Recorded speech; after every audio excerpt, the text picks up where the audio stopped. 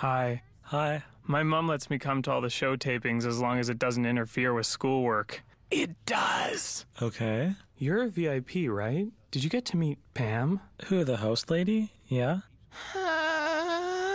Are you okay? I'm fine. So, did you, like, I don't know, taste her hair or anything? No, I didn't think of that. I guess I could have. She was swooshing her hair all around. I'm gonna turn this way.